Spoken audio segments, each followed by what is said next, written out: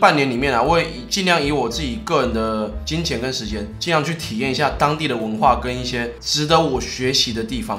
不过还是要先讲一下结论，就是如果还要在我去中国交换，我还会去吗？答案是不会的。里面整个都烟味，对不对？刚睡醒，这个列车不可能再坐了。睡完觉肺都黑了。看那边是有写一个禁烟标志。现在正式要从浙大离开了，交换结束了。很谢谢这个室友的照顾，谢谢你。走吧，拜拜，我们要去搭绿皮。现在是半夜一点，两个半小时到上海，然后再转地铁到上海浦东。今晚基本上就为了省钱嘛，所以应该是睡不了了。啊，原本住在浦东还要花钱啊。谢谢。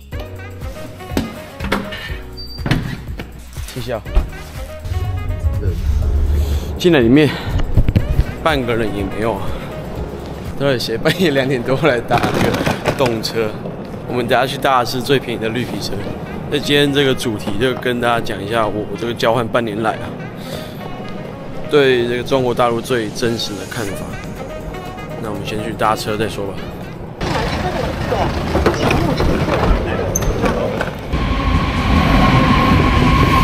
这还有插花哎，哦，这是餐车哦。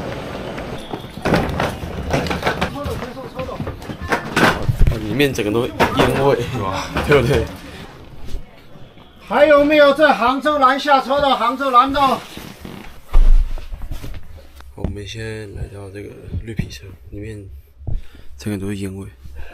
那我们要就是要讲这个主题啊，就是可能比较敏感一点，所以现在也有点累了，所以我们回台湾慢慢跟大家讲一下，就是我这半年来对这边真实的心得。先睡一下。晚点搭飞机。刚睡醒，这个列车不可能再坐了。睡完觉肺都黑了。看那边是有写个禁烟标志啊，但是还是写爽的。Tomorrow。好了，我终于回来台湾了。毕竟这边讲还是比较敏感一点，所以回来台湾再来讲。那先声明一下哦，这个影片绝对没有任何政治立场，我全部都是以我自己自身的体验，还有以我自己的主观客观感受。来跟大家讲，所以里面没有任何诱导，那也麻烦留言区的人请理性一点讨论，不要什么东西都要扯政治。好了，进入正题，那我现在讲一下我的背景好了。我是在二零二三年的九月呢前往中国的浙江大学进行交换半年，所以在二零二四年的一月中一月底左右回来台湾。那这个半年里面呢，我也拍了很多短片嘛，想必大家有看过我的 IG 还是看抖音、看 YouTube 都会看到我很多那种台湾啊跟中国的差别。里面也有蛮多部跟蛮多平台都达到一百万观看以上，所以真的很谢谢大家的捧场。所以在这个半年里面啊，我也尽量以我自己个人的金钱跟时间，尽量去体验一下当地的文化跟一些值得我学习的地方。不过还是要先讲一下结论，就是如果还要在我去中国交换，我还会去吗？答案是不会的。那我就把我这半年体验到中国生活。以食衣住行娱乐来区分。那因为衣的部分呢，我没买什么衣服，所以就不跟大家太多去讨论。那我们就先从食开始。现在短影音这么盛行嘛，大家有在滑抖音、滑 FB、滑 IG、滑 YouTube 都会看到，哇，很多人在拍那种中国的美食，不管是小吃啊，还是什么特色的美食，看起来真的都很好吃，又油又亮。可是呢，以我这半年去吃的经验，老实说，真的没有吃到太多合胃口的东西。因为以我一个台湾人的角度来看的话，当地的食物都比台湾来讲，呃，过油又过咸。一般影片小吃看起来好吃的原因，大部分是因为它的油啊，还有它的香料啊，它的辣椒加够多。可是真的去吃的话，以我来讲啊，我就说串烧店好了。像串烧店呢，如果每次我去点的话，每一家基本上，包括连学校食堂，所有的串烤都是孜然粉啊、胡椒粉啊、酱啊，都加到爆炸。所以常常我在吃羊肉和牛肉，有时候真的是不好区分，要细细品尝才区分得出来。还有一个特别东西就是他们的红肠，其实红肠我也带我台湾的朋友去吃过。老实说，就是它的含肉率真的是比较低一点，吃起来呢淀粉感很重，而且他们的到处的小吃都喜欢加红肠，常常呢就是在吃淀粉加淀粉啊。所以在我的观察下来，我看到他们人民平常像吃米饭也会吃的比较多，常常去食堂吃饭，他们就是一大堆的米都配一两样菜。可能像我如果想要喝一个真的无糖的酸奶，其实也买不太到，顶多就只有添加代糖的零蔗糖酸奶。不然就是像咖啡的话，我个人喜欢喝黑咖啡或美式。那他们如果就算是高铁的商务舱啊，或是飞机上面，其实常常都只有三层咖啡，很少有黑咖啡的。所以普遍来讲啊，我觉得中国人民对于饮食的健康要求的话，还是比台湾人相对低一点的。当然，我要讲一下，我还是有吃到好吃的东西，像重庆小面啊就很好吃。可是注意哦，这都是我个人的口味。再来讲一下住。说真的，他们住宿呢，相比台湾来讲，超级超级便宜。比如说像台北的话，一般可能双人房要三千多块钱的，一样的大小，一样的装潢，可能在上海跟其他地方更便宜啊。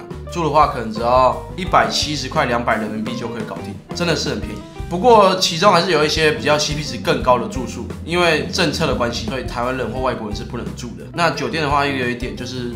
他们很多房间里面都可以抽烟，所以变成说我去住了很多酒店，包括了连锁的酒店哦，它里面的房间也都会有烟味，晚上睡一睡都感受不是到太好，因为我个人比较讨厌烟味一点，自己也不抽烟。不过像他们如果外送的话，比较好一点的酒店，他们都会有机器人帮你直接送到你的房间门口，那你就跟机器人拿一下就好了。台湾的酒店我目前看好像比较少见了。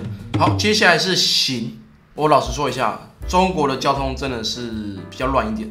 像如果在中国待过的人知道，他们的汽车不管在高速公路上面还是一般道路上面，要左切要右切也不太会打方向灯，所以想切就切，想弯就弯啊。那他们的红灯呢，也是可以右转的，不管是电瓶车呢还是汽车，所以常常呢一边红灯他想要右转，那另一边有直行，那两边都每次都快要撞在一起。而且还有一点是，他们的电瓶车不需要带转，红灯的时候直行是不能骑的，可是呢又可以红灯又可以右转，所以变成说汽车要右转的时候，啊这电瓶车要左转。所以两边在卡来卡去，有时候又快要撞到。那在街道上面走路的话，或者是骑脚踏车，最大的一个痛点就是他们喇叭真的太长按了，永远都按着，就是有人没人都要扒一下，就喇叭到处一直扒。啊，那电瓶车呢也都逆向，或者是骑到人行道上面，所以这一点我还是比较不习惯一点的。不过有一说一啦，他们市区可能几环之内，就是沿着市中心。它会盖那种环形道路，几环之内呢是禁摩的，就是不能骑加油的摩托车，只能骑电瓶车。所以他们的电瓶车跟电车的普及率是很高的。那走在路上呢，相对来讲比台湾就少了很多汽油味，还有很多引擎发动声。我觉得这一点呢还是很不错的。那再来还有地铁的部分，地铁说真的四通八达，真的很方便。其实你基本上在市区的话，你要去哪里，包括连哈尔滨这么冷的零下二十几度的地方，他们一样都有地铁，所以地铁四通八达，很方便。可是重点就是出门了，如果背个包或者是有水，都要过安检。啊，过安检的时候，水呢，包呢，包放在 X 光检测，水还要拿出来给那个人员去做检测或喝一口，所以这部分就比较麻烦，比较浪费时间。有时候真的是很懒，因为冬天身体穿很多衣服。那当然，地铁也要安检嘛，高铁也要，火车也要。这部分来讲，比台湾安全很多，减少了很多那种什么症结那种事件啊。不过，真的日常生活来讲的话，就稍微麻烦了啦，没有说好或不好。可是像在搭地铁的时候，就基本上没有先下后上这个观念，而门一开了就是要挤进去。所以在那边的话，我自己啦，就是我也是直接挤进去，因为如果不挤，有时候人多的时候真的上不了车。到站了，他们要下车的时候，常常我在我可能站在那边，他们也不会说借过。他们有时候直接一推就把我推开，就直接出去。当然了，我还是有遇到很多有礼貌的大陆人，我觉得相对是少一点的。好，接着讲教育的育，就是我这次去中国目的就是交换学生嘛。老实说，以我从浙江大学看起来的话，我觉得他们学生真的很认真。图书馆的常常都满的，而且走在那种综合教学大楼啊，都会有自习的学生，甚至每一层楼可能都还有一个手机柜，就你可以把手机锁在里面，之后专心去自习，又专心去读书。所以这一点他们还是非常卷的。只不过用教学角度来看的话，我觉得宽阔性跟这个思想开放性还是有差别的。毕竟他们是这个党国教育嘛，共产主义嘛。所以在思想上是没有这么开放的。像我修一堂课叫做短片创作，是传媒学院的课。那那堂课呢，老师就会出作业，就说，哎，你们要分成一个小组，这个小组回去要做一个三到五分钟的短片。那一开始那个老师也没有说要怎么做，可是后来就交件的时候才发现说，原来老师有他自己的一堆规定，所以每次一交交就是一堆东西要改，不然一直被推荐，之后就要照老师的方式拍。那我觉得。这个叫短片创作的这个创作的名义就有点消失了，大家做出来东西可能大同小异。还有，因为他们从小就是这个党国教育的关系啊，所以他们其实一般人民是非常爱国的。在台湾议题上面，基本上回答的东西都是中国答案。那我就是跟多多交流嘛，多多了解一下文化差异，这样也是不错的。好，接下来讲一下乐。热的话就包括了玩乐。就以我去旅游的经验来讲好了，我去大陆有去过上海、杭州、成都、重庆、哈尔滨。山东、威海、济南、青岛，算有八个城市，就这半年之内，不得不说，就中国还是幅员辽阔，我觉得还是很丰富的。只不过我去那么多城市之后，我会发现说，他们很多城市其实都是大同小异，就是商业化非常严重。就不管是不是自然的或不是自然的，他们很多都会围起来去做一个收费。就算不收费的话，那个地方基本上也是被各种跟其他地方又类似的摊商凑合在一起。那如果到晚上的时间，就很多城市基本上就是那个高楼嘛。然后打一堆灯嘛，以我就是我比较喜欢看自然景观的这些城市风景，我觉得人造的有点太太多了。共产党用钱砸出来嘛，不管那个高楼啊，还是那个灯光啊，就是你可能去看一次体验一次可以，拍个照可以。所以如果要去中国旅游的话，我会建议说去一些比较自然有特色的景观的地方，城市可以去了，可是不用停留太多，因为我觉得每个地方的相似程度比较大一点。那这当然是我个人感受，因为我比较喜欢自然景观的，没有要任何引战的意思。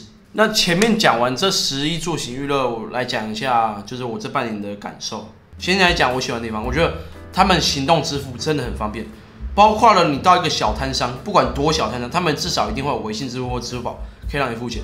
还有你去哪里的话，基本上他们的国民是可以直接刷脸支付的，我是比，所以他们有时候是连手机都可以不用带的。那这点当然大家会说什么治安问题，可是你你用很多东西都要刷脸，你包括你去银行也要刷脸，所以我觉得这治安的部分。没有像大家讲这么严重，就是给大家一个方便嘛。所以行动支付，我觉得这一点，我回来台湾的话，我还是觉得那边行动支付方便很多，出门带手机就够。那他们治安也很好了，所以像他们平常在路上开车的话，你开车每开个几公里，他就帮你拍照一次，而且那个灯是很亮的，它就架在那个上面。包括你安全带有没有系好啊，你有什么什么违规，通通都会照起来。你人到哪里都无所遁形，所以他们偷东西的比率很少。包括到山里面也都有监控。可能会有个人隐私的问题，可是我觉得相对来讲治安是好的，毕竟我没有干什么坏事嘛。那再还有一个优点就是电瓶车，电瓶车说真的减少很多空气污染。那台湾的话比较少见一点，大家还是加油的。所以这部分台湾可以再努力。那要讲一下我比较不喜欢的一些地方啊，像啊我之前去高铁站搭高铁，或者有时候都遇到，就是可能在那个高铁站，就是可以想象一下在台湾的高铁站里面哦，就是有开冷气那种大厅，就有些人会直接吐痰吐在地上，我觉得这一点不太好。还有。像我影片开头，我去搭那绿皮车，那个整个绿皮车上面全部都烟味。说实话，我真的也受不了，因为它明明就标示说不能抽烟，可是你连火车上面的烟味超级浓，就是我睡完觉起来，我以为我鼻子会失忆的，结果是没有，越久越重。包括你去很多百货公司、商场，他们里面都写不能抽烟，厕所也不能抽烟，可是里面就很多人会去厕所抽烟，这整个厕所的烟味就是比较麻烦一点。还有就星巴克里面也会有人抽烟啊，那么也睁一只眼闭一只眼。闭一只眼了，他们星巴克也没有那种自助回收观念。虽然他们好像有写说自助回收，基本上没有人在回收，就是大家就是东西都丢在那个桌子上啊，桌子上可能堆满一堆咖啡，啊他们店员还没来收。那下一个人也可能也直接坐在上面，那也他们也无视这些垃圾嘛，饮料就放在上面就继续喝。所以我觉得这一点还是比较特别一点。像台湾、韩国啊，在其他地方星巴克都会自助收了，这一些地方我还是比较不习惯。那讲最后的感想，老实说啊，我前面说那些比较不喜欢的部分。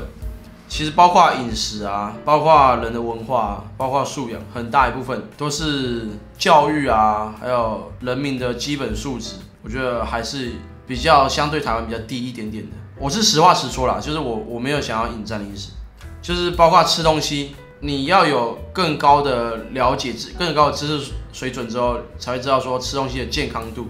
地铁啊，礼让啊，很多部分啊，反正我前面讲了一堆，大家可以往前看。基本上我觉得都出在于人民素质的问题。如果人民素质提升的话，这一些事情很多都都可以去改善。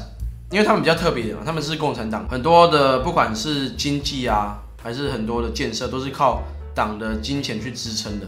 所以变成说人民还没有随之的提升上来，那经济呢跟建设都已经提升上来，所以会变成说比较大的落差。我讲一个比喻给大家听好了，就比如说一个学校里面有两个班级。两栋楼在不同栋楼，一栋楼呢是台湾，一栋楼呢是中国大陆。那台湾那一栋楼比较旧，中国大陆那一栋楼很新，超新的，哎，用的很漂亮。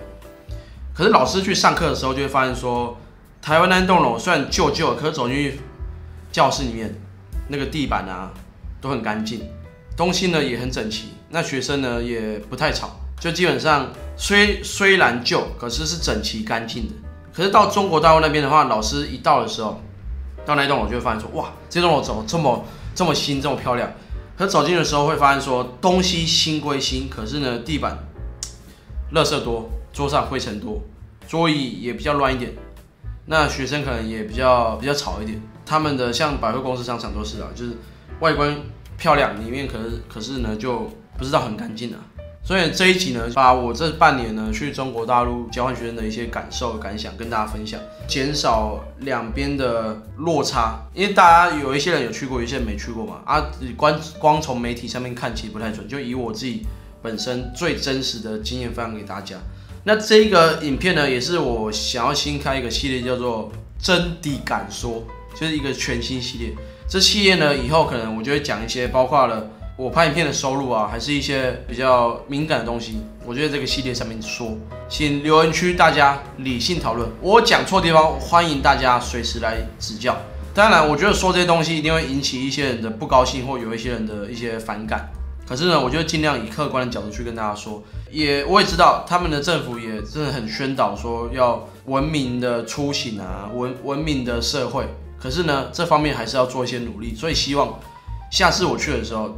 中国大陆的整个会更提升，当然啊，中国很多地方还是没有去玩过，我还是会想去，包括什么新疆啊、西藏啊，我是很想去的。好，这边先跟大家广告一下，我之前有拍很多大陆的影片，都还没发。那这一部呢，是因为我先回来，想要先发一下嘛，一月十七号回来的，所以我还有前半年的可能十几部影片都还没发，大家想看的继续关注一下，我就尽量努力剪，把它剪出来。所以之后应该会有一系列中国大陆的影片，那这一部只是一个开端而已，就是告诉大家我结束交换了。大家想看的，记得继续发喽。我店里，我们下次见，拜拜。